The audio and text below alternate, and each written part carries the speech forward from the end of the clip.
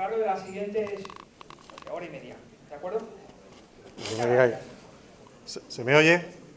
¿Se oye bien? ¿Sí? Pues nada, buenos días a todos. La verdad es que es un, un placer estar aquí y ver un, aforo tan, tan nutrido de, de jóvenes promesas, ¿no? Que es lo que seguro que sois todos vosotros. Eh, yo no soy eh, dentro de AENOR el responsable de, las TIC. el responsable de las TIC eh, son varias personas y a lo que yo me dedico actualmente es a comercializar la propiedad intelectual de las normas que ahora veremos qué es lo que son. Durante, llevo como unos 16 años en AENOR, los 10 primeros dedicados a la normalización internacional viajando prácticamente todas las semanas, Bruselas, Ginebra y el resto del mundo, y desde hace cinco años, como eh, les he dicho, dedicado a tratar de eh, que las empresas principalmente y universidades como la que estamos hoy aquí, pues entiendan lo que es eh, la importancia de las normas y en, mi caso, y en el caso de Alicia Guerrero que me acompaña, pues que, que las compren, dicho, dicho claramente. Alicia Guerrero, que no le he presentado, es eh, lo equivalente a un eh, account manager de determinados eh, clientes, entre ellos esta universidad. Dicen los expertos en ponencias que debe empezarse las presentaciones con un índice, pero claro, un índice mm, de AENOR sería qué son las normas, dónde se, dónde se elaboran, qué es AENOR, etcétera, etcétera, etcétera de verdad, espantoso. Hasta yo mismo, y lo digo yo mismo, me aburriría de empezar con un índice así. Así que lo voy a cambiar y voy a empezar con lo que yo creo que debería ser, que es cuáles son los objetivos. Los objetivos de hoy, yo daré muchas vueltas, contaré ejemplos, hablaremos todos, es que de aquí salgan ustedes sabiendo que es una norma, dónde se hace, para qué sirve, eh, a qué se aplican, etcétera, etcétera.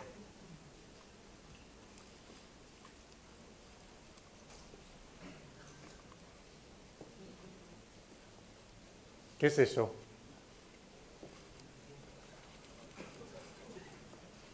Este señor lleva normas hasta en las orejas. Dice, yo normalizado nunca.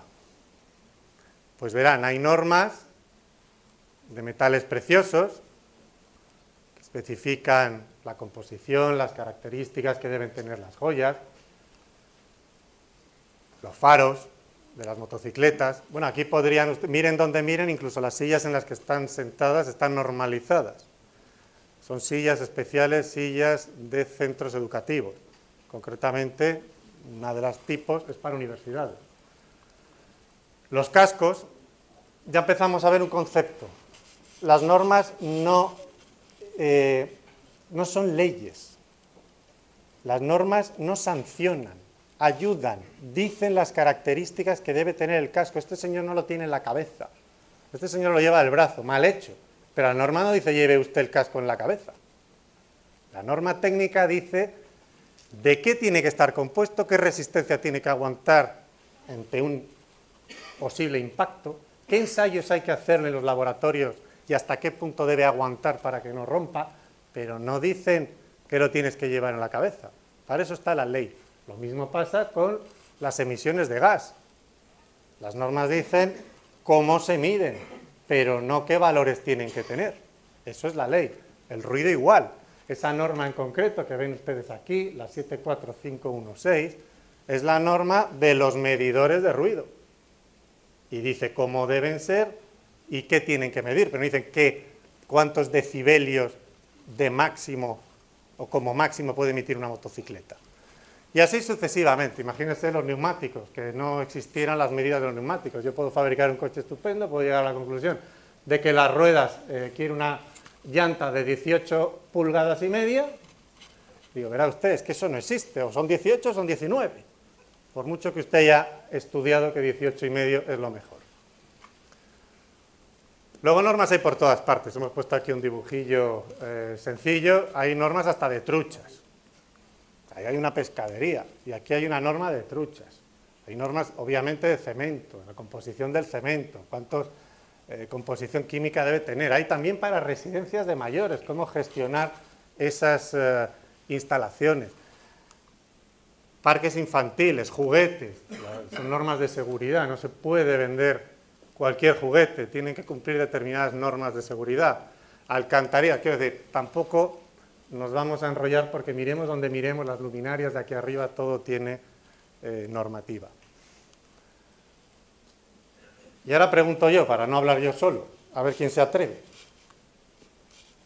Con lo que ya hemos visto, ¿cuál piensan ustedes que podría ser la norma más relevante del mundo. Si no, señalo, ¿eh?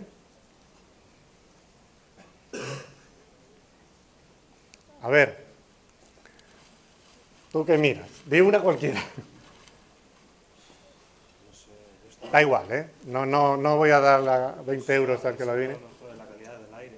Calidad del aire, otra, por ejemplo, sí, es una norma que existe. Por ejemplo, en hospitales es muy importante cómo hacer normas, son directrices, guías, sí señor, incluso hay algunas especiales para cómo hacer normas para que sirvan para pymes, puesto que ustedes saben que no, las pymes por lo general no pueden participar en la elaboración de normas, hay que tenerlas en cuenta. ¿Eh? ¿Perdón? Educación, hay normas eh, de educación. Yo estoy pidiendo la más importante, ¿eh? no digo que esas no lo sean. Más, es muy fácil. ¿Qué norma, digamos, a qué producto, a qué, a qué aplicaría a todo realmente? Es decir, una de las cosas por las que hacemos normas en realidad es para que todo más o menos sea igual. Es decir, yo pueda comprar en China y me sirva. Yo compro un ordenador en China y claro, si en China han inventado unos conectores, pues yo lo traigo a España y digo, es que aquí no lo tenemos. Yo no puedo conectar mi ordenador a la pantalla porque es un conector que se han inventado los chinos. No, utilizan, ¿verdad? El mismo conector, ya sea el USB ahora el 3.1 o el que corresponda, o el HDMI, porque está normalizado. Ya les estoy dando la pista. ¿Alguien se atreve? A ver, que cuál es lo más importante me lo he inventado yo, ¿eh? no es que sea la más importante, todas son importantes. ¿Cómo viene ese ordenador desde China aquí? Viene volando. Venga, ya tienen la pista. No es tan difícil. Esta es la norma más importante. ¿Se imaginan ustedes la cantidad de containers que circulan, iba a decir a diario, al segundo por, este mundo? Todo, absolutamente todo, viaja en esos containers. Y esos containers están normalizados con una norma ISO. Bueno, miento, son varias y no hay un solo tipo de container. Obviamente, usted sabe, lo hay de 20 pies, de 40 pies, que equivale a 6 metros, 12 metros. ¿Están de acuerdo o, me lo he inventado? Fíjense la importancia de las normas. Si no estuviera normalizado el contenedor, no podríamos meterlo en los barcos, que saben ustedes que tiene unas medidas normalizadas, van todos uno al lado del otro. Luego cuando lo descargo son el vagón de tren y si lo pongo en un camión es un camión también normalizado. Eso es una norma, la que especifica las dimensiones de estos containers. Dirán ustedes que son informáticos, que tienen esto que ver conmigo? Bueno, son ejemplos. Más ejemplos. ¿Quién no ha ido a hablar del DINA 4? Seguro que todavía oyen ustedes hablar de eso, ya no. Bueno, pues el DINA 4 famoso es una norma UNN ISO. ¿Qué pasa? Que viene, originalmente viene de, Alemania. Alemania el DIN lo propuso a ISO, ISO hizo esta norma en 2002 y, bueno, todos los formatos, no solo la 4. ¿Qué haríamos si no tuviéramos una 4? Pues no podríamos diseñar impresoras, ni portafolios, ni absolutamente nada de nada que tenga que ver con un papel normalizado. A lo mejor a mí me gusta más el folio. Pero claro, si las carpetas o las impresoras están diseñadas para un papel normalizado de unas medidas específicas, pues yo ese folio, como no lo use para pintar monos, pues no sé qué voy a hacer. Más moderno, las tarjetas. ¿Quién no usa la tarjeta ya sea para sacar dinero en el banco, el carnet de identidad, etcétera, etcétera? Si no tenemos normalizado digamos, los contactos externos, no podemos utilizar ninguno de los interfaces o dispositivos de lectores de todo este tipo de tarjetas. Esos son normas, concretamente esta. Les voy dando pistas, más o menos saben lo que es una norma, ¿no? No es ley, es características de funcionamiento, etc. Algunas veces cuesta muchísimo normalizar. ¿Quién no se acuerda del cargador de móviles? Había 500 tipos, me he pasado, no tantos, y por fin se consiguió normalizar. Llevó su tiempo. Lo que ahora la vida, sobre todo la informática y el software, va muy rápido. Y en 2011, por fin se consigue una norma reconocida internacionalmente que es la del conector que todos ustedes conocen. Está normalizado. Y me atrevería a decir que gracias a esa norma, a que se reunieron un montón de empresas en un comité se pusieron de acuerdo, ahora podemos utilizar un conector para todos los móviles, tablets, etc. He puesto hasta un, dato de que la venta de cargadores ya iguala a a la de los móviles. Más preguntas. ¿Todo, todo, todo se puede normalizar?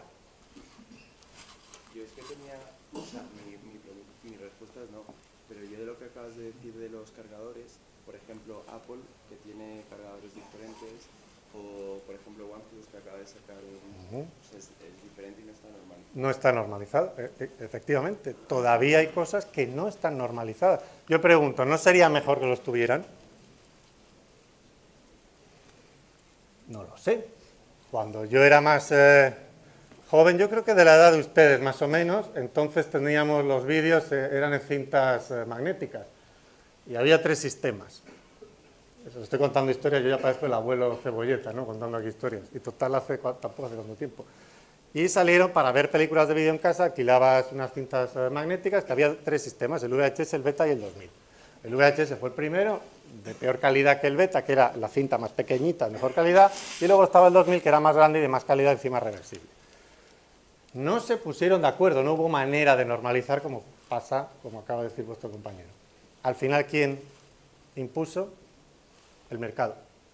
Curiosamente, el mercado escogió el sistema más malo, el VHS.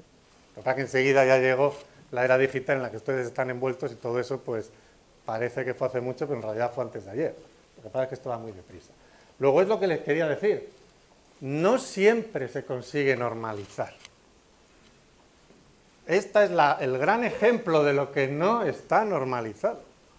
Cuando viajamos tenemos que llevar el adaptador de enchufe, por llamarlo de alguna manera, porque en cada país del mundo la clavija es distinta, o la base, que es como se llama eh, en, la, normativa. en las normas UNE, esto se llama base y esto clavija. Yo lo llamo enchufe, porque soy, me creo, una persona bastante normal. En España tenemos esa UNE, que especifica los requisitos de seguridad y las dimensiones de la clavija nuestra, que es de las más seguras ya que estamos aquí en España, pues yo hago propaganda y promoción de nuestro sistema, es de los mejores. De hecho, no puedes, iba a decir, no te puede dar calambre, dicho a lo bruto.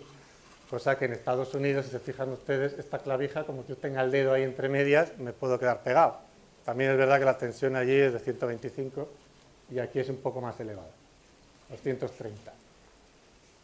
Luego esto no se normaliza. Y ahora, más, vamos más allá. ¿Y por qué no se normaliza? Pues verán, normalmente es fácil, entre comillas, normalizar aquello que se mueve. Es decir, es, tradicionalmente se normalizan los productos que se comercializan y que se desplazan, dicho para que se entienda. Es decir, yo fabrico en China y lo traigo a España. Pero claro, una instalación fija como es de una vivienda o de telecomunicaciones como son las suyas, pues están digamos que no viajan. O sea, las casas no van en los barcos. Digo, yo abro la roza en la casa, ahora no, porque ahora hay pladur, yo abro la roza, pongo el cable, pongo las bases y ya está. Entonces, ese tipo de cosas que se llaman instalaciones fijas no están normalizadas a nivel internacional. Pero lo que yo puedo comprar en un sitio y vender en otro, sí, salvo excepción. Bueno, pues ya para resumir, ¿qué es una norma? Pues bueno, ya lo tenemos, una especificación técnica, es voluntaria, cuidado. Las normas no son obligatorias. Otra cosa es que una legislación, y eso me interesaba también resaltarlo, como el reglamento electrotécnico de baja tensión, haga referencia a una norma UNE. La norma por sí es voluntaria, nadie obliga a aplicarla. Lo que sucede es que puede que la legislación diga esto es obligatorio, imaginemos, me voy a inventar un caso que no es real, que diga es obligatorio llevar el casco y el casco debe cumplir con tal norma. La norma es voluntaria, pero de alguna manera la legislación me está diciendo, oye, no, pero es que ese casco no vale cualquiera, tiene que ser el que cumpla con la norma de AENOR. Y así con muchas cosas. De las 31.500 normas que tenemos, eh, prácticamente 5.000 normas, un poco más, están relacionadas con legislación, pero no son legislación. Cuesta mucho hacerlas, tienen que ponerse de acuerdo todos. Pero a mí me interesa una tecnología y a usted le interesa otra. Los cargadores de móvil que ha apuntado su compañero, pues Apple no está de acuerdo con que se utilizara otro conector. Si algún día lo llega a estar, porque le interese comercialmente, habrá un único conector de verdad. Y tiene que haber un organismo reconocido, como es el caso de AENOR, que vigile de alguna manera que no se esté haciendo una norma que ya existe, que no se esté haciendo una norma en España contradictoria con otra europea, otra internacional, y, que, y a través del cual ustedes puedan ir a Ginebra o a Bruselas, por poner un ejemplo, a defender su tecnología porque en realidad lo más importante de la normativa es lo que llamamos transferencia tecnológica. En tanto en cuanto ustedes puedan incluir en las normas ISO la tecnología de sus empresas, antes conseguirán expandirse a nivel internacional. En eso ahora mismo son maestros los coreanos y los chinos. Hace pocos años, americanos y alemanes, pero esto el mundo ha cambiado. Ahora los que están muy activos son los que les he dicho. Luego, bueno, podríamos, como digo, un mundo fácil, sin normas, sin regulación, no, habría, no haría falta educar y ya vendrá otra oportunidad, esta es un poco exagerada esta, esta presentación y si se rompe el equipo ya me compraré otro. No, los equipos deben fabricarse conforme a normas para que no se rompan. Deben tener unos mínimos de características de funcionamiento y desde luego de seguridad. Y esto de aquí es lo que les he dicho se perdería si no hubiera normas. Normas no es solo para aplicar directamente. Ustedes tienen un montón de libros de texto que el catedrático que los ha escrito, o el profesor, o el experto, sí o sí ha utilizado normas. Y la mayoría de las tablas que ustedes encuentran en los libros de texto son copia de normas. Esos parámetros, esos valores, todo está sacado de las normas. Lo que tengo que hacer yo es enterarme para decirle que, eso tiene derecho de copyright y que no se puede copiar así por así. ¿De acuerdo? Eso lo digo aquí. Porque es verdad, las normas tienen derecho a copyright por todo lo que les he dicho. Es que cuesta mucho dinero hacerlas.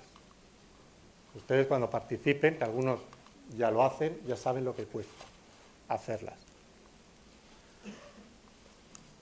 Luego, aquí les he puesto unos eh, datos de por qué las normas favorecen la seguridad que van relacionados con su trabajo.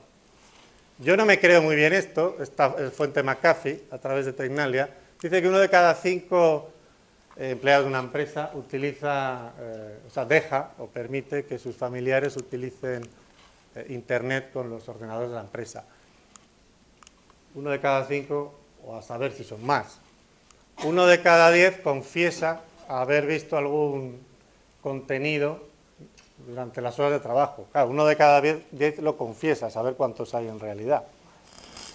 Dice, dos tercios dicen tener conocimientos muy limitados en materia de seguridad. Dos tercios, prácticamente tres tercios, excepto ustedes que son expertos, los demás no sabemos absolutamente nada. He puesto estos ejemplos precisamente por eso, porque son, va relacionado con su, con su trabajo. Y él dice, el 5% dice que pueden ver cosas que no deberían dentro de la empresa.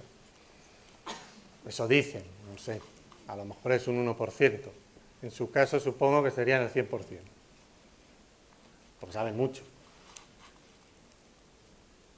La evolución natural de la normalización, y enseguida entramos en la materia de lo que a ustedes les afecta directamente, lo que decía, al principio se normalizaban los productos, pues todo esto empieza y la realidad es así, empieza en las guerras, nos guste o no. Hay que normalizar los cañones y las balas, y porque si yo tengo un frente a, a 5.000 kilómetros de la fábrica, pues tienen que llegar, dicho de alguna manera, que la munición encaje o que entre en el, cañón.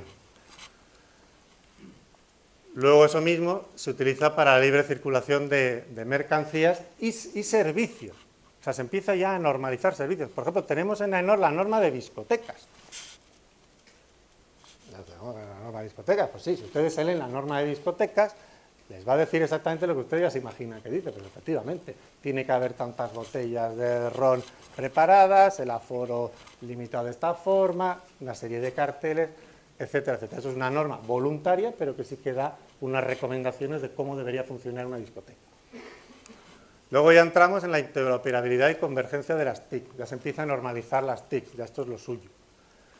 Y ahora, curiosamente, ya estamos en una fase en la que empezamos a hacer normas de lo que la gente demanda, protección del medio ambiente, accesibilidad para todos, no son las aceras que sean accesibles para que la silla de ruedas no tenga ¿verdad? esa barrera técnica, es que también las páginas web son, son accesibles, ustedes lo saben.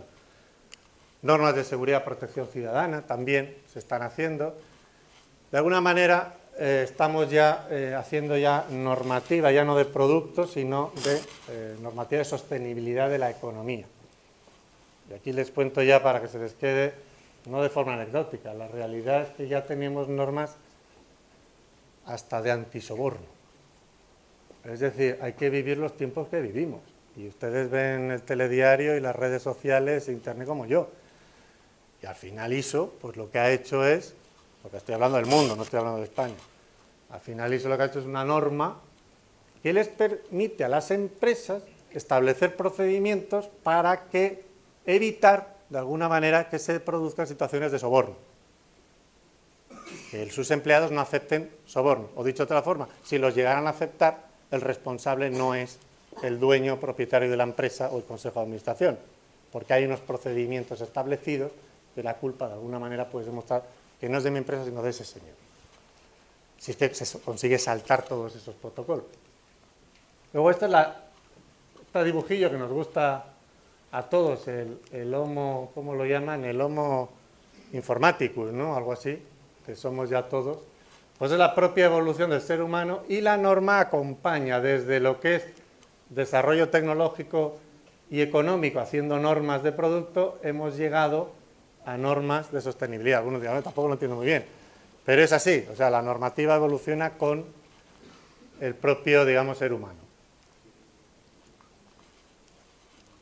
Antes de pasar a las eh, normas que más les afectan, quiero que vean todo lo que tenemos. Tenemos normas de sistemas de gestión, de materias primas, vocabulario, todas tienen vocabulario, construcción, productos de consumo, transporte, y más de más I, y más de más I, España es líder. AENOR es el que ha hecho, curiosamente, las normas de I de Masir que todo el mundo nos está pidiendo. Parece mentira, ¿no? Parece como, bueno, ¿esto por qué no lo ha hecho, como bien ha dicho usted antes, Corea? O Japón, o China. No, no, no. Las normas de, que son las UNE 166.000, 1, 2, 3, 4, 5, son de AENOR. Y las han copiado en Europa y las están copiando en ISO y nos las han pedido los chinos para copiarla y otros tantos, porque son normas de gestión que indican o especifican los procedimientos que debe cumplir una empresa para poder demostrar que tiene implantada un sistema de innovación.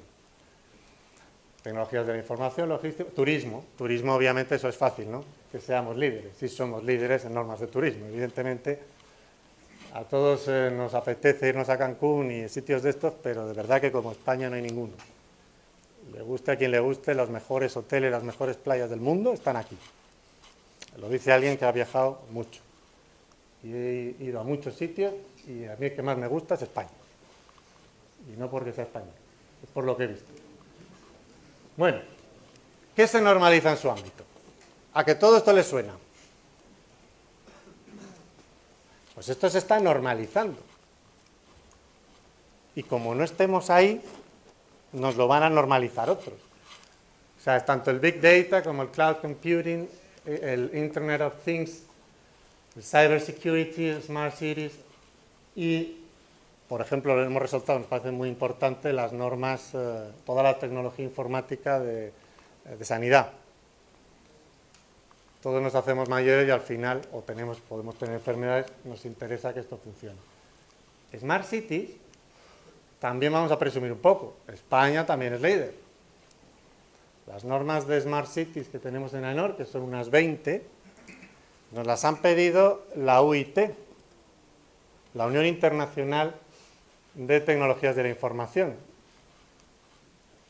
Y somos referentes en el mundo en normas de Smart Cities, curiosamente. Smart Cities es todo. ¿no? Ahora hablamos de todo es Smart, menos el coche, que es vehículo eléctrico, porque existe el Smart. El Internet of Things, vuelvo a lo mismo, es todo. La verdad es que hablarles a ustedes de esto da hasta apuro, ¿no? Porque saben infinitamente más que yo. Y vamos a ver algunos ejemplos de lo que se está haciendo ahora. Apúntense, ¿dónde está todo esto? Esto sí que les interesa mucho. Todo esto que hemos visto, en la transparencia anterior, está y se normaliza en el comité JTC1 del ISO IEC. Esto sí que es importante que lo apunten porque ahí están ahora mismo puestos todos los proyectos que se están desarrollando. Por ejemplo, el diseño y desarrollo de sistemas eh, de IT y herramientas. Les he puesto aquí un ejemplo. Características de funcionamiento, calidad de productos, seguridad del sistema de la información, portabilidad de aplicaciones.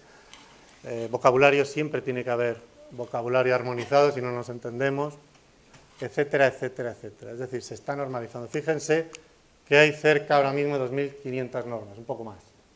Están participando varios miles de expertos. Están muy callados, no tienen ninguna pregunta. ¿Les parece interesante o no? Por lo menos están mirando. No veo muchos que se estén durmiendo todavía. Concretamente dentro del JTC1, si quieren podríamos, para darle un poco de dinamismo, si yo entrara en, en cualquiera de estos, ¿verdad? Y yo pinchara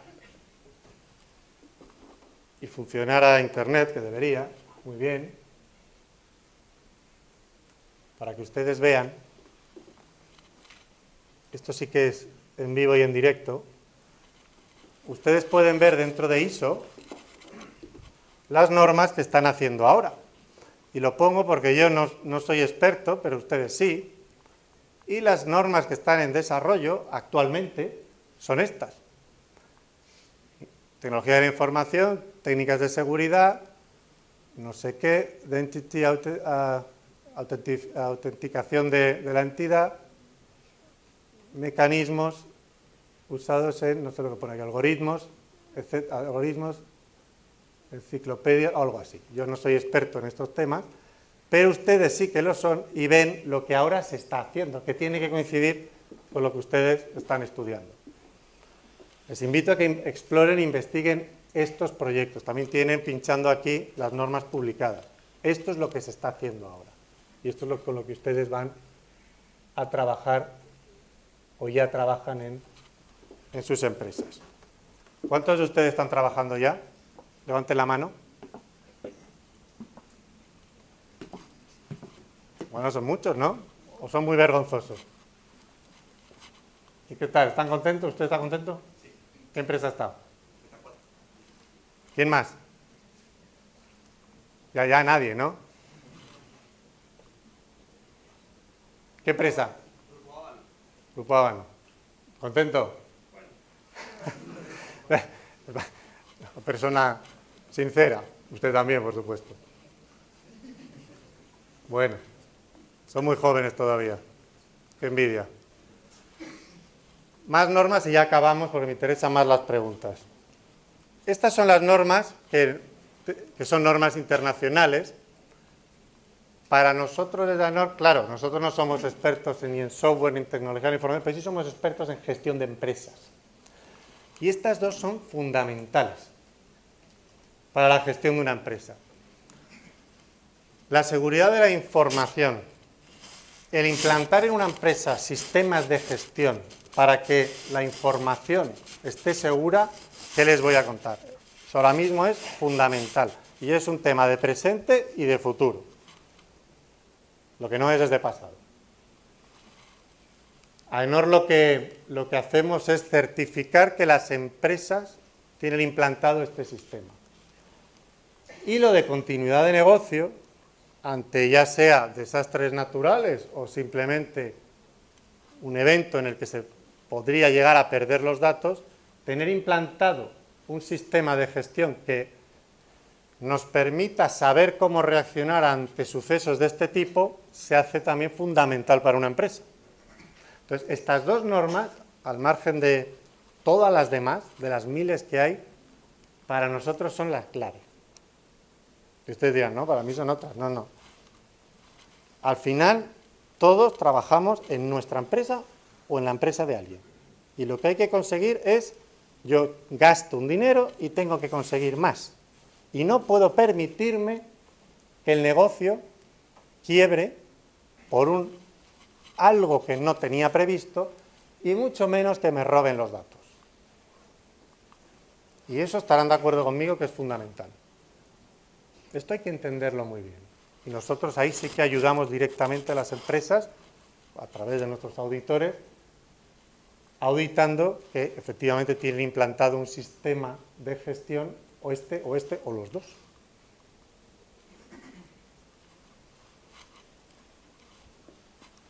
¿Qué hacemos a nivel europeo? Pues fíjese qué cosas más curiosas hacemos también en normas. No solo son normas de producto como antiguamente.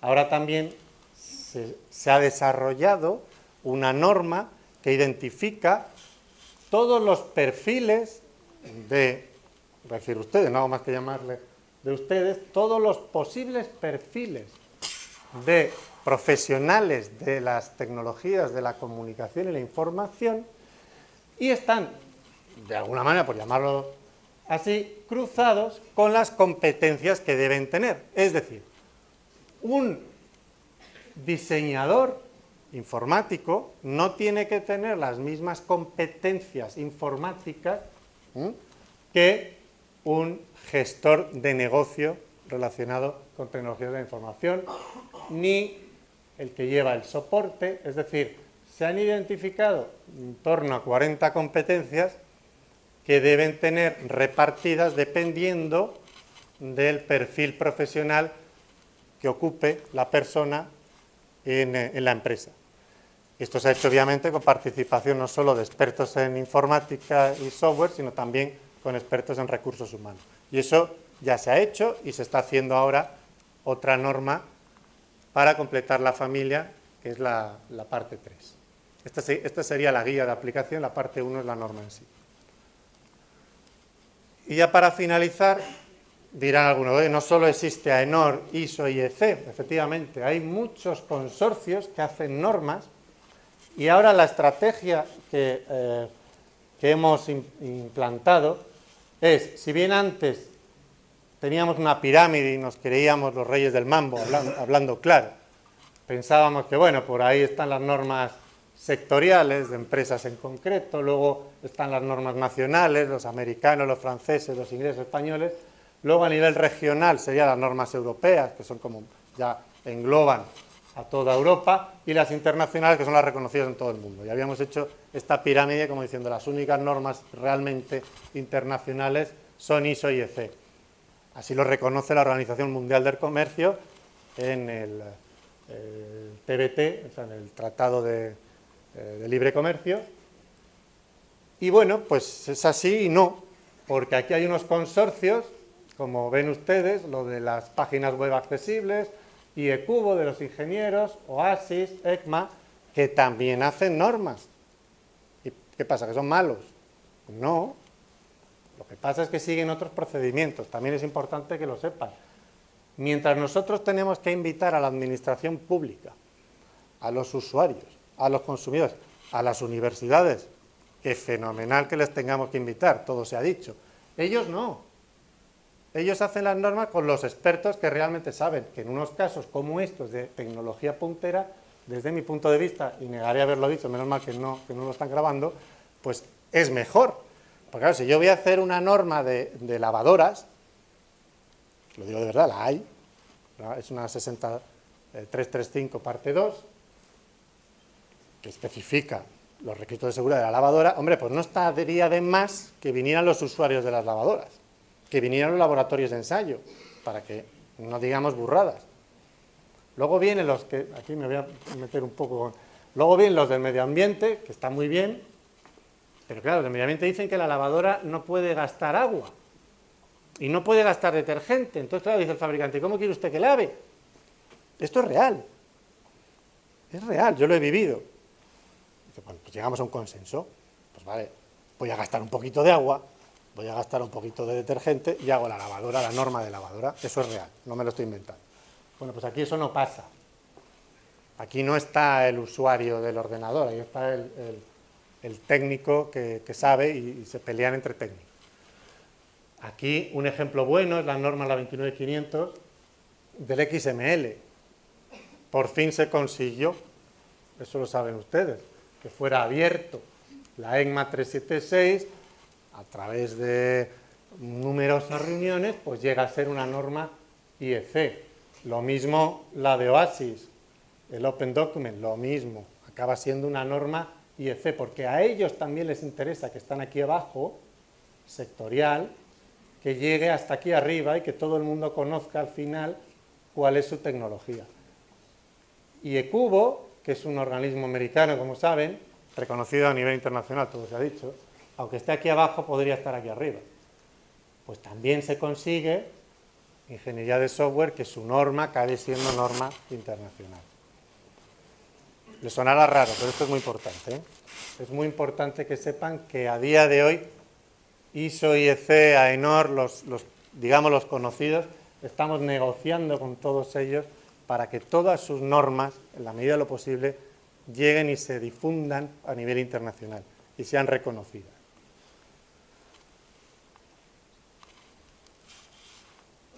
Luego, en resumen, esto sería, digamos, la parte de la charla, porque me interesa más las preguntas. Quiero que sepan que las normas no son ninguna tontería. Los que están metidos en normalización no lo hacen por amor al arte, lo hacen para introducir su tecnología.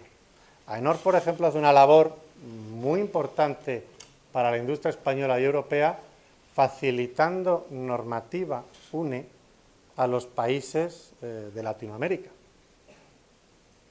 Muy a pisar mío y miro a la cámara, porque yo las vendo, pero yo tengo que entender que es más importante para ustedes que la tecnología de las normas UNE, que para eso se han peleado ustedes en Ginebra, en Bruselas, en Japón y en 20.000 sitios del mundo, esa tecnología que está en las normas UNE, que son normas europeas y que son normas ISO y EC, se la regalemos de alguna manera a los países que podamos, en nuestro caso gracias al idioma Latinoamérica, para que cuando ustedes quieran ir a vender allí, resulte que hayan adoptado la norma de AENOR, porque qué bien está esta norma. Ahora la hago norma colombiana, o la hago norma ecuatoriana, o la hago norma hasta brasileña, que el idioma no es exactamente el mismo.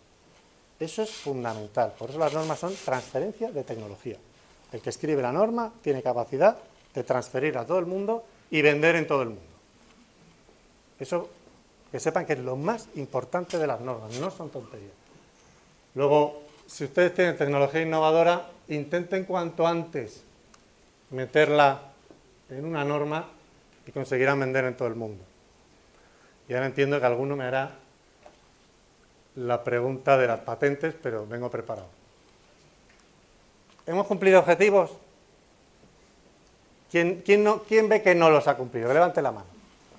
No, no le voy a hacer nada. ¿Ya todos son expertos en normas? No me lo creo, ¿eh? Yo he tardado 15 años en enterarme.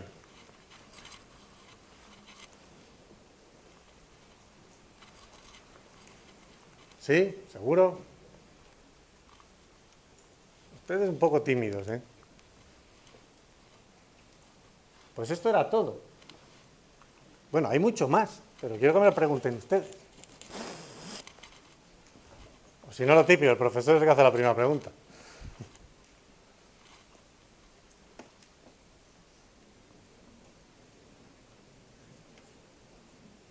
Vale, muchas gracias. A ver, ¿alguna pregunta? ¿Duda?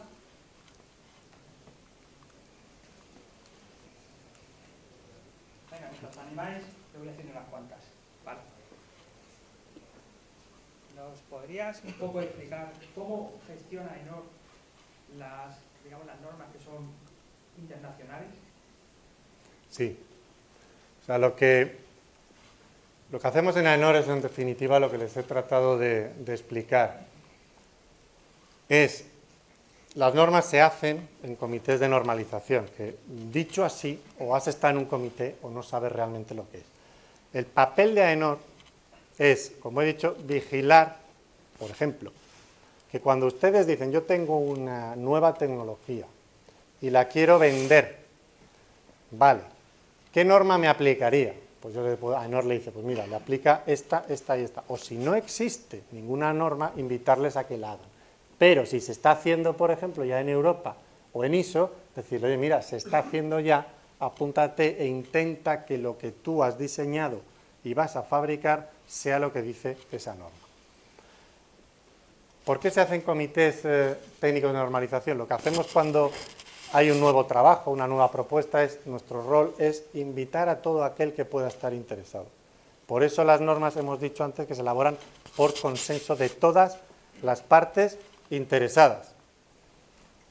Es decir, yo invito a todos, pero a lo mejor tres empresas de las que están aquí no vienen. ¿Esa norma no vale? Sí, vale. Invitado estuvo usted. Si usted no vino a normalizar y a escribir la norma, cuando salga se va a quedar fuera del mercado. Eso pasa. Y estoy hablando a nivel mundial, no estoy hablando a nivel español. Entonces es muy importante la pregunta de cómo se normaliza.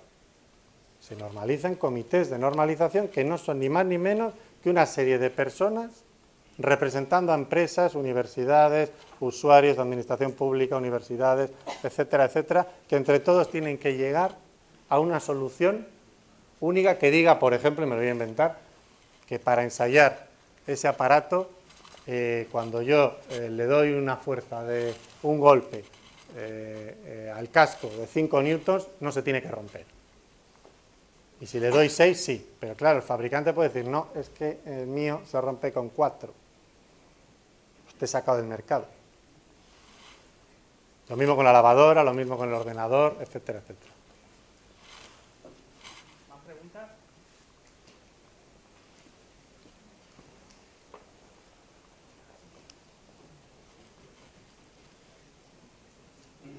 Eh, bueno, yo eh, a nivel de eh, desarrollador, por ejemplo, si se me ocurre una idea y quiero eh, formar una norma para pues, eh, vender mi producto y que se conozca, mm, ¿cuál sería, eh, los, ¿cuáles serían los pasos para, que, para poder eh, hacer una norma para ese producto que estoy pensando y cómo podría saber eh, a qué persona le puede repercutir, porque si yo eh, creo un producto, a lo mejor dentro de dos años se puede utilizar para algo totalmente diferente a lo que yo he creado.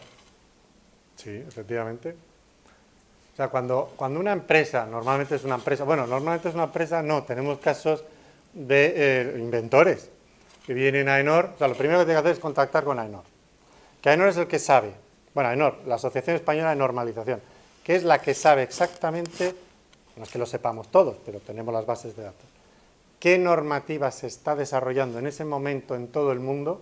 Incluso podría suceder que su idea se estuviera desarrollando a nivel nacional, y vuelvo a repetir, en Corea. Nosotros también tenemos capacidad de llegar a saber si eso está sucediendo. Y podría suceder que Corea estuviera ya planteándose presentar la ISO para que sea norma internacional y que todos los que, como usted, están intentando introducir esa tecnología, al final se encuentren con que ya hay norma internacional y que tienen que seguirla y que no es exactamente lo que ustedes estaban haciendo.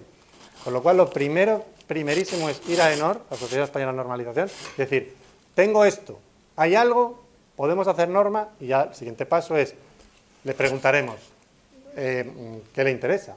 ¿Hacerla solo norma española, europea o una norma internacional?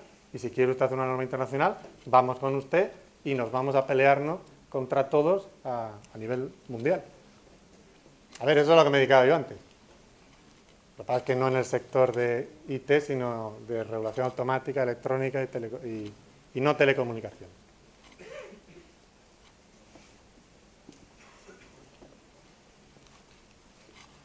Bueno, eh, un par de cosas. En primer lugar, ¿quién decide qué normativas se hacen o se dejan de hacer?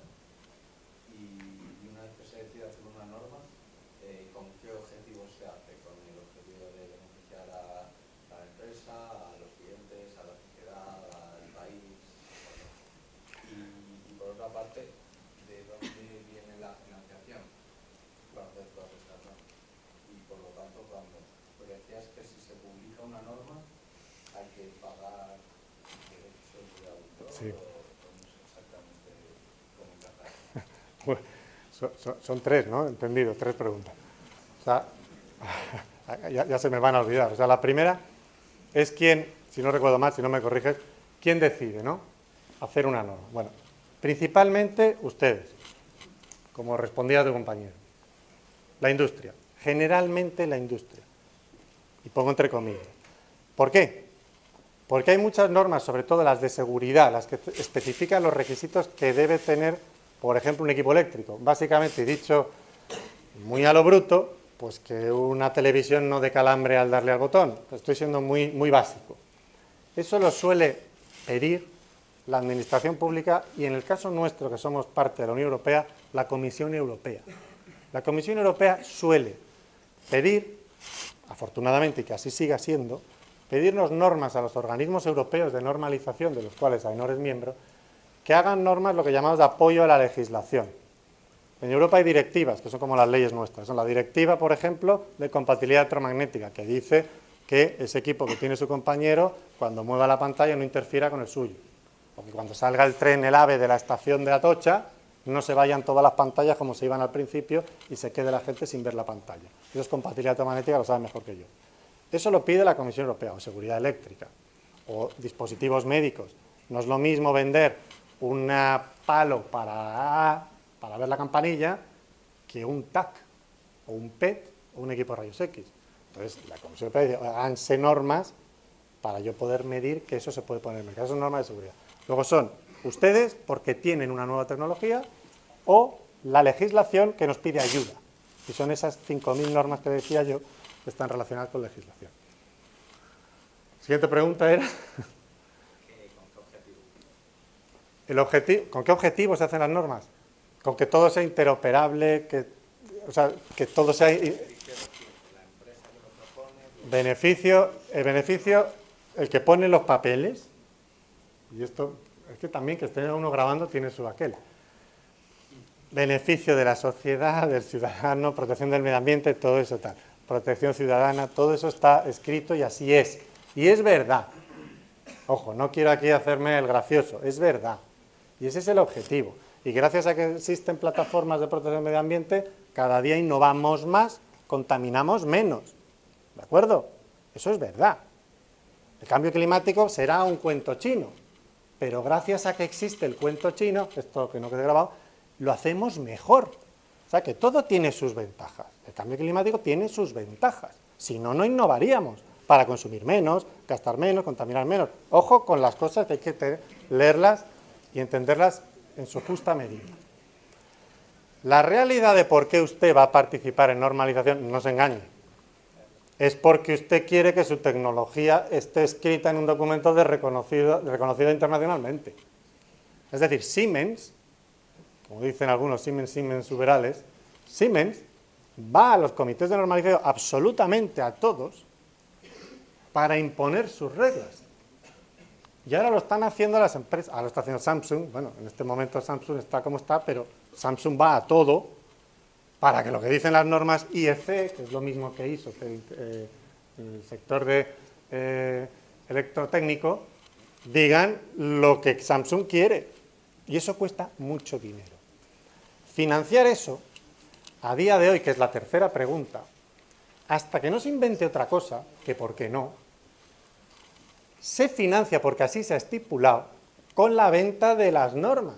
Que yo no digo que esté bien, ni bien ni mal.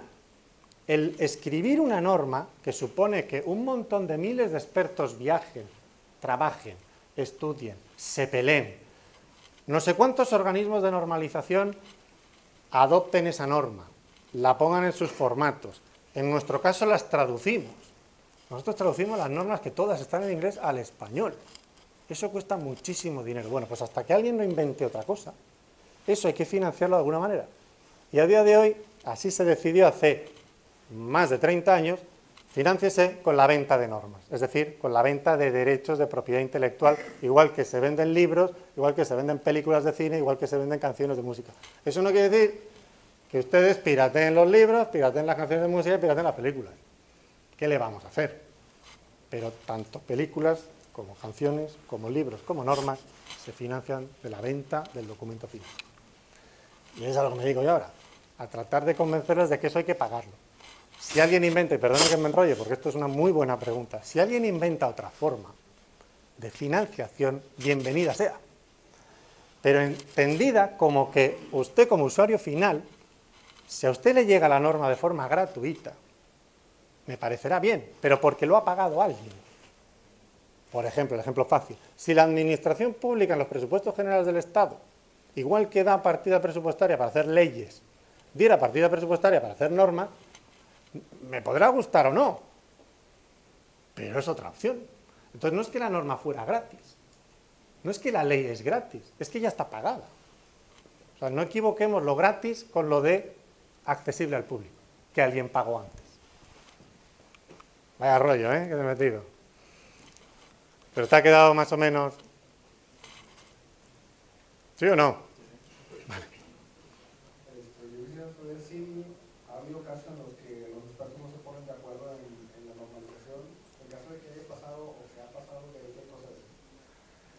que si hay casos de esos, todo lo que quieras.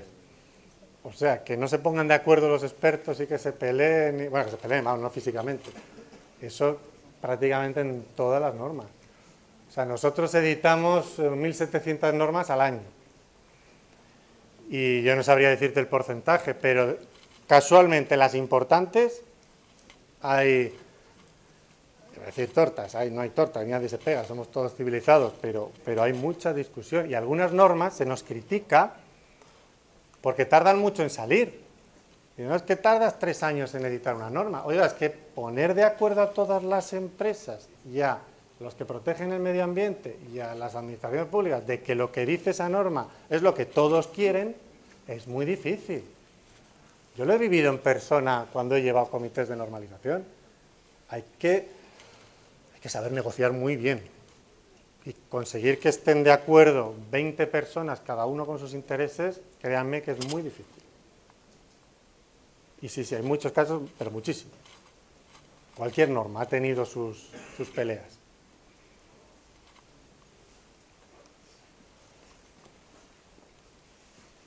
Pues yo quería arañar un poquito más sobre la financiación. Eh, vamos a ver. Estaba viendo que AENOR tiene más de 500 personas en plantilla. Que, o sea, que Sí, Sois una institución bastante consolidada y, y bastante grande, ¿no? Y entonces, si he entendido, si, si a lo mejor no te he entendido, ¿sabes? Entonces, las empresas no pagan por normalizar, ojo, ojo. sí. Ahora, ahora, ahora tienen que empezar a pagar por normalizar. Sí, sí. O sea, Ahora sí explico por qué. Ahora explico por Vale. qué. Y por otro lado, entonces, las normas no están en un repositorio, porque que yo sepa, las ISO sí que podemos acceder a ellas, ¿no? ¿O no? No. se- no se pueden acceder a las ISO. Son, son tres veces más caras que las UNE. O sea, lo mejor es, es- lo mejor es ir en la web de AENOR y buscar la UNE ISO, la UNE EN ISO, que es tres veces más barata que la original ISO, y eso que está traducida al español. Nosotros somos muy baratos, sí. Vale, o sea, que si tengo acceso es porque... o la- pues Pero la- Se han comprado, las has tenido que comprar. Son muy, muy caras las ISO y las IEC, muy caras. Tened en cuenta que están con la mentalidad de Suiza, Ginebra. Esto, bueno, está grabado, pero es así. O sea, el, poder adquisitivo de, de, lo que es Suiza no tiene nada que ver con el resto de, de, países y especialmente con España. Pero ahora claro ese punto, eso es muy importante. Eh, AENOR a partir del 1 de enero del año que viene eh, se divide en dos empresas. Pasa a ser por un lado la Asociación Española de Normalización y por otro lado lo que se entiende la mayoría que es una certificadora como lo es, eh, se puede decir, como lo es A, a Bureau Veritas, la etcétera. Hay varias empresas que se dedican a certificar, como por ejemplo las normas que les decía ahí, de seguridad eh, eh de, la información y de continuidad de negocio.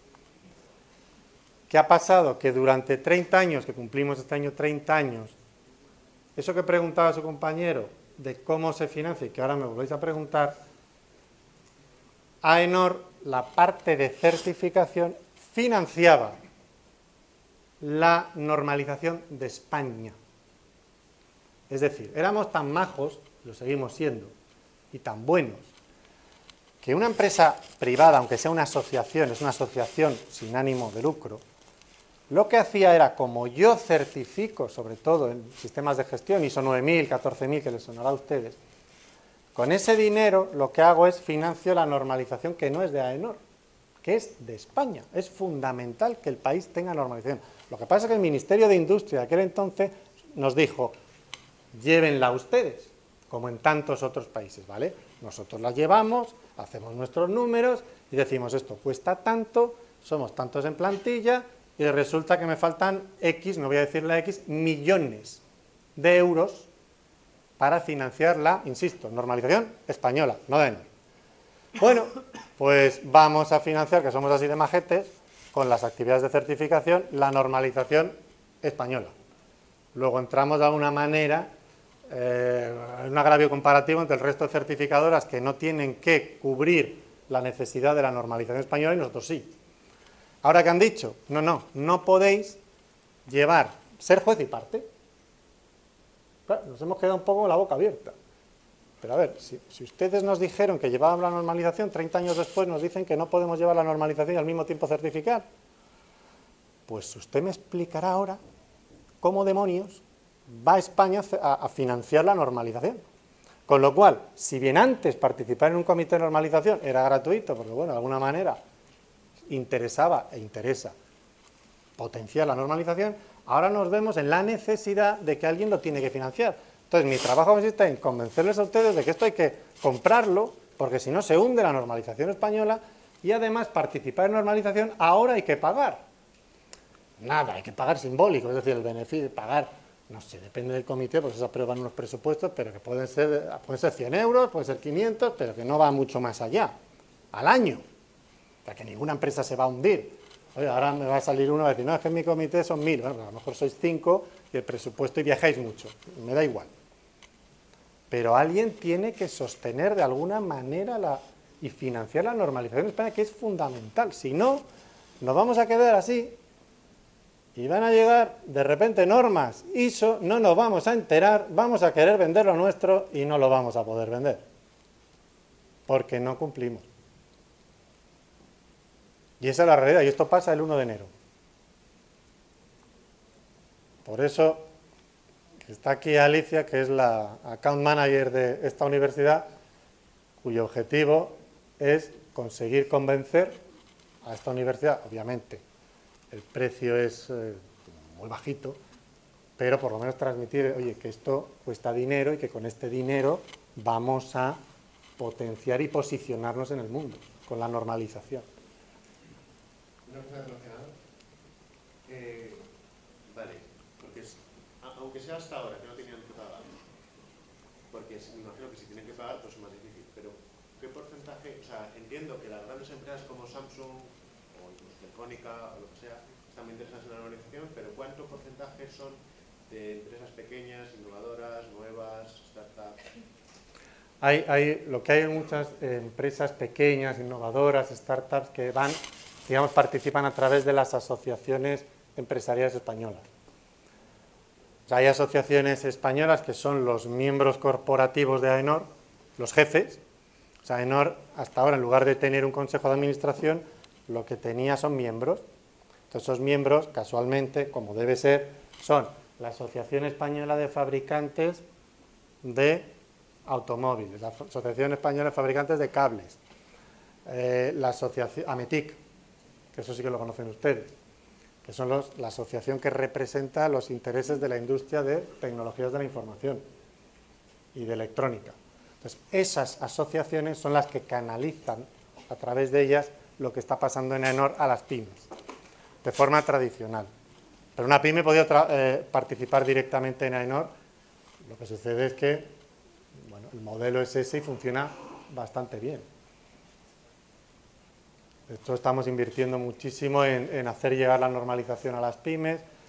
La semana pasada nos reunimos con CEPIME, a ver si a través de CEPIME podemos eh, dar a conocer nuestras plataformas de acceso a proyectos para que ustedes lo puedan ver, las pymes especialmente. Es decir, nos estamos moviendo muchísimo, incluso aquí estoy yo tratando de, convencerles para que transmitir la importancia de, esto que suena tan feo, como son las, normas. Es que suena feo, ya la propia palabra norma, a veces decimos estándares, ¿no?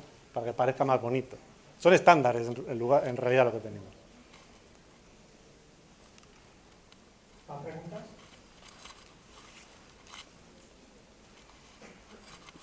Abordo yo con. Quería saber, también que explicasteis a los chicos cómo se puede participar lo que es en el diseño de normas, por un lado, y segundo, que nos contases un poco la diferencia entre los estándares que se llaman de facto y los estándares de jure, por ejemplo, el caso de Apple, que no está, sí, sí. un poco si está en recogido en algún tipo de, de estandarización y sin embargo, contraposición tenemos el gran éxito que ha tenido. Sí, al final también depende, es que estamos, claro, si cogemos siempre el ejemplo de Apple, claro, es que, es que Apple es, es otra dimensión. Es decir, tratar de... Es como la, es como la marca, nosotros certificamos empresas eh, que les sirva ese sello, esa marca de AENOR, para diferenciarse del resto y decir, oye, yo lo hago bien. No sé si a ver si con este ejemplo soy capaz de explicarlo. Yo soy bueno, lo hago bien, tengo un sistema de gestión implantado en mi empresa, por ISO 9000, puedo participar en concursos públicos de la administración porque me lo exigen, Luego doy una garantía de que yo, que soy de alguna manera desconocido, con este sello de AENOR, cumplo con los requisitos que ustedes me piden. Pero claro, si yo le planteara, por ejemplo, a Siemens, y vuelvo a poner Siemens para no poner Apple, oye, ¿usted se quiere certificar con AENOR? O le digo a IKEA, oiga, ¿a usted no le vendría bien implantar un sistema de gestión y yo se lo certifico? O a Decathlon, Veréis, la marca IKEA, es, me duele decirlo, pero es mucho más potente que la marca Enor. Y eso que la marca Enor es potente. La marca Decathlon también. Mercadona. Siemens. Y luego está ahí arriba Apple. Entonces, claro, Apple, yo le puedo decir que, le interesa a Apple normalizar, lo Preguntaba su compañero antes, sí, pero Apple me va a decir, mire, ¿qué me está usted contando? Estoy tirando tiras sobre el tejado. O sea, que llegamos donde llegamos, que es a todo menos Apple. Porque Apple tiene fans, frikis, llámenlo ustedes como quieran. Hay gente que se compra el móvil en cuanto sale, hay gente haciendo cola. Eso es increíble. O sea, eso es, eso es mágico. yo, yo, alucino. Yo no haría cola por muy bien que esté, que ya lo compraré pasado mañana. Eso se va, se sale de toda lógica y claro, yo no, no, voy a ir yo a Apple a decirle, oye, mira que tu conector eh, no está normalizado, me va a decir, a mí usted qué me cuenta. Si yo vendo más móviles que las normas que vas a vender tú en tu vida, sí. Luego, hay que también diferenciar de qué estamos hablando. Apple Pongamos otro ejemplo, otra empresa que no sea Apple, ¿no?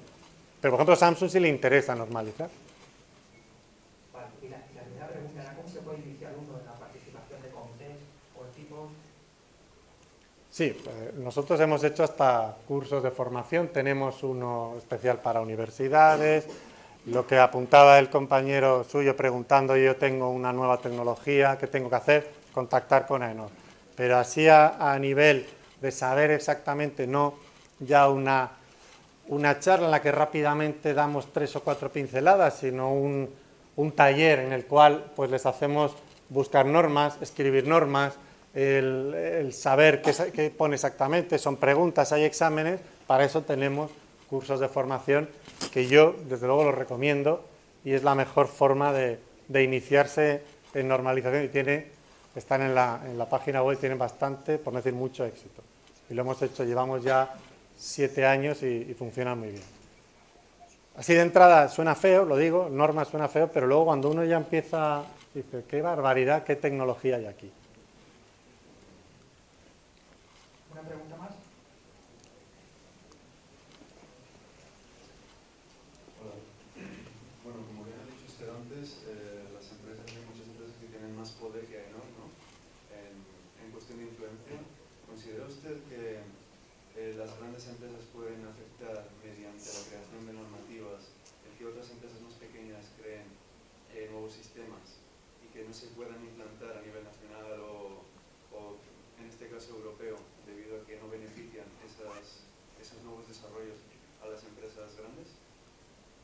A ver, no es que lo creas, si te he entendido bien la pregunta, es que eso es lo que hacen las grandes empresas. ¿Existe algún protocolo entonces para evitar que se monopolice de esa forma el desarrollo de, normas? Claro, eso es la propia estructura de la normalización. Nosotros estamos obligados a invitar a lo que decía antes, a todas las partes interesadas. Es decir, si Samsung quiere imponer su tecnología, no a través de una patente, sino a través de una norma, que es lo que usted ha dicho, para que, digamos, las pequeñas empresas fabriquen, digamos, los componentes para que encajen, dicho de esta forma, ¿no? en mi dispositivo final, nosotros tenemos que conseguir invitarles a todos ustedes para decir, eh, cuidado, cuidado, tampoco es que sea cuidado, pero mire lo que está haciendo ISO o IEC, que quién está detrás, está Samsung, mire lo que quieren normalizar, deberías estar ahí, y ese es el rol del organismo de normalización.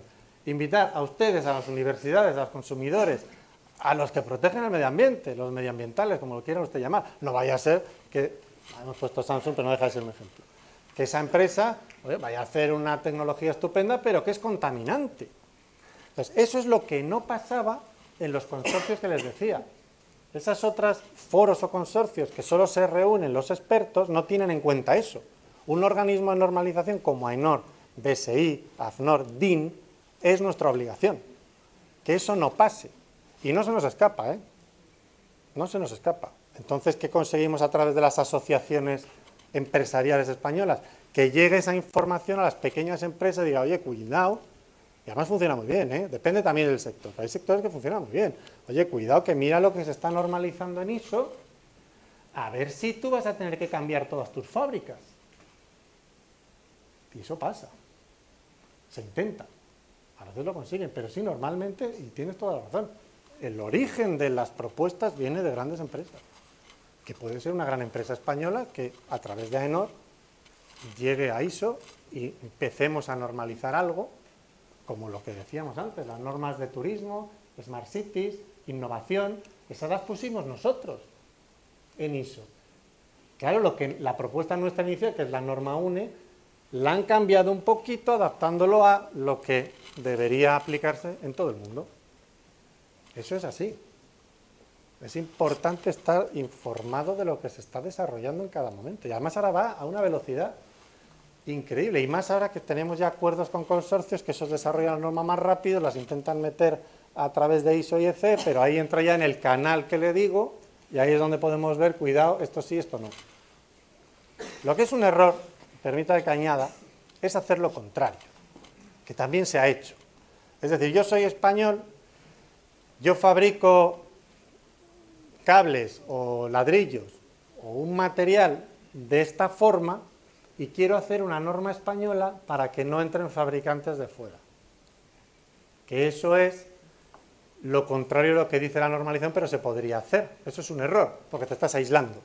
Te puede funcionar un par de años, pero al final no vas a poder resistir.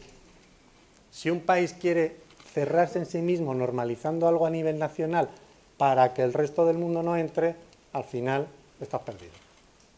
Eso también se ha utilizado la normalización para eso, para crear barreras técnicas, pero hay que hacer lo contrario. Parece que regaño, ¿verdad? Eh, ¿Más preguntas? ¿Comentarios?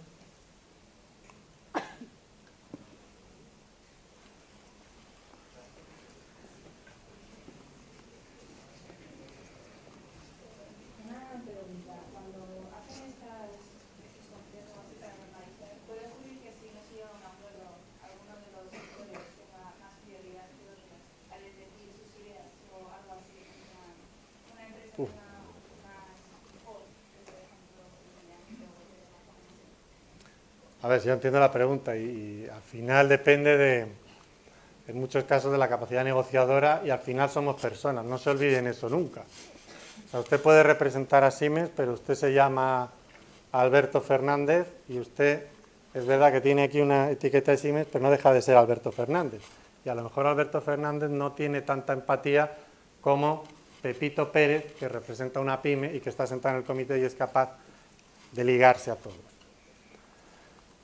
Además de eso, recuerdo un caso muy interesante a raíz de esa pregunta. Es que saber cómo funcionan los comités de normalización, bueno, hay que estar en ellos. No es tan complicado, pero si no has estado, tiene su dificultad. Voy a intentar resumirlo. En AENOR hay varios comités de normalización divididos por sectores. Todos son responsabilidad de AENOR. Es decir, cuando nos reunimos, votamos, decidimos y vamos, emitimos los comentarios a ISO, los está emitiendo España a través de AENOR. Quiero decir que si el comité de lavadoras, que es el de electrodomésticos, el comité de electrodomésticos, analiza la norma y dice hay que cambiar esto, no es el comité de electrodomésticos de AENOR el que dice hay que cambiar esto a ISO, que en este caso es IEC. No. Es España que de alguna manera ha delegado a AENOR y a AENOR al comité de todos los que tiene que se encarga de los electrodomésticos. Pero podría suceder, y enlazo con la pregunta, como ha sucedido, que digan, bueno, vamos a hacer una norma de calidad de onda. Claro, las eléctricas se frotan las manos. Dicen, bueno, vamos a poner aquí más o menos 15. Es decir, ¿por qué no? Yo lo intento. Y si intento hacer una norma europea que diga que la calidad de onda de la red eléctrica puede ser, en vez de valor eficaz de 230 voltios, pero que la puedo subir a 263, y cuela, ¿qué pasa? Que en AENOR el comité que lleva ese tipo de normas es precisamente el comité cuya secretaría lleva UNESA, participa Iberdrola, Gas Natural Fenosa, todas las eléctricas. ¿Qué pasaría? ¿Qué pasó? Que dijeron, sí, claro, genial. Y eso les llega a nosotros. Y el Comité Nacional sobre el cual AENOR delega la decisión dice, adelante con esa norma. Pero ahí está Pablo, que dice, "Ch, cuidado, que esto afecta al comité de electrodomésticos, al de ordenadores, al de todo aquello que se enchufa. Y lo reunimos a todos. Y dicen todos, no, ninguno. Reúnes a todos y toda la industria española, en esa sucedió, que todos decían no, obviamente, menos el responsable, que dice sí. ¿Cuál es la posición de España ahí? ¿Digo lo que dice el comité o lo que dice España? En su conjunto. Pues ahí España, que en ese caso era yo, fui a Bruselas y dije no. A pesar de que el Comité Español de Normalización decía sí. Pero el resto de comités que no llevan esa norma dicen no me fastidies. Ese es el papel de AENOR. Luego, aunque uno se quiera imponer, hay que vigilar y tener cuidado de lo que afecta una norma también al resto de comités, al resto de la industria. Y eso lo digo porque lo he vivido yo, pero vamos, que eso pasa todos los días. Pero ese caso en concreto, hace 6, 7 años me pasó a mí.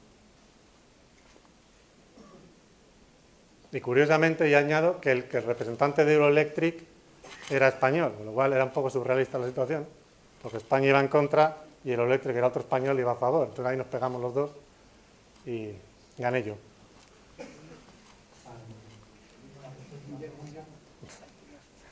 Ganó la industria. Sí, aquí. ¿Podrías explicar un poco más y profundizar en, en la posición de China respecto a todo esto de, de legislación y normas? Sí, desde hace, pues, ¿qué diría yo? Yo llevo cinco años tratando de vender normas, pues digamos que hace diez, un poco, quizá un poco menos, la estrategia de China fue colocar expertos en todos los comités de ISO, todos los comités de IEC. Hace 10 años no hablaban ni inglés.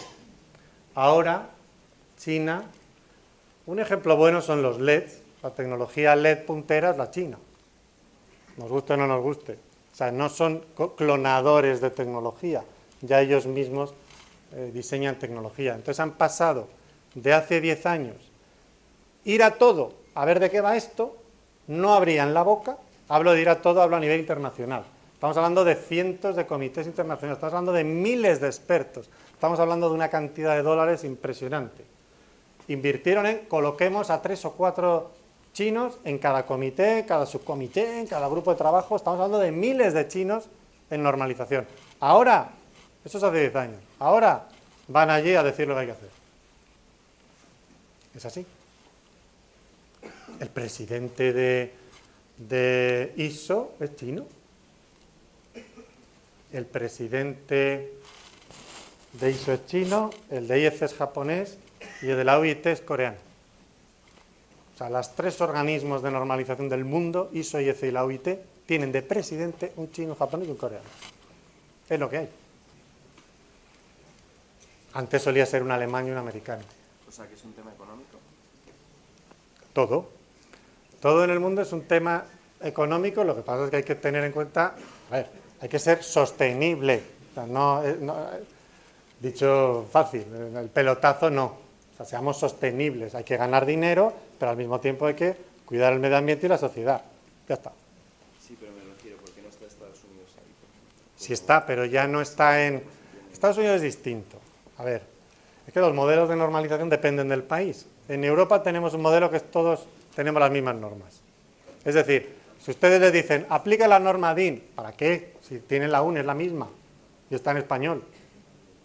Todas son normas europeas que adoptamos DIN, BSI, ahí no son las mismas. Son iguales.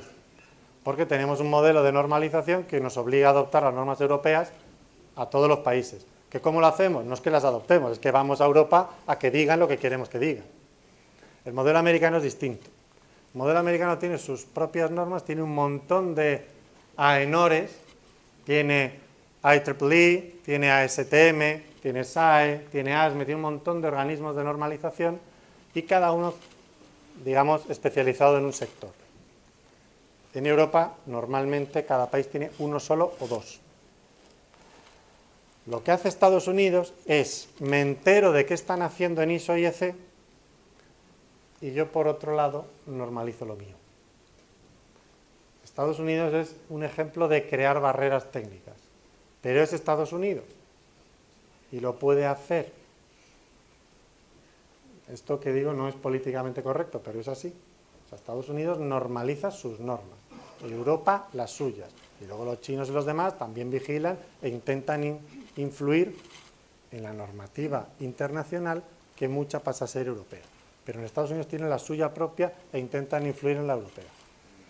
Y cada vez más se intenta armonizar, por eso decía lo de los consorcios. Pero sí, Estados Unidos tiene un modelo especial.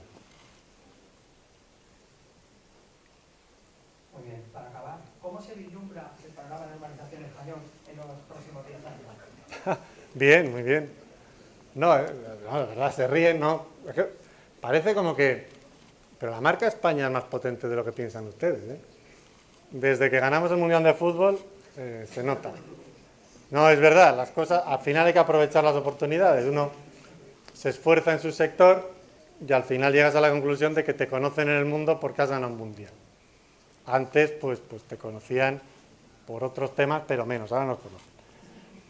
La normalidad española es más potente de lo que ustedes se piensan.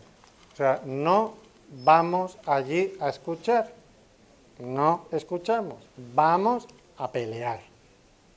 Y somos muy peleones. Y nos tienen mucho respeto. Y además tenemos una cosa que no tienen los alemanes. Los alemanes, por ejemplo, van, y es verdad, no es un tópico, lo he vivido, van con su chip. Como les saques de ahí, no saben ni dónde meterse.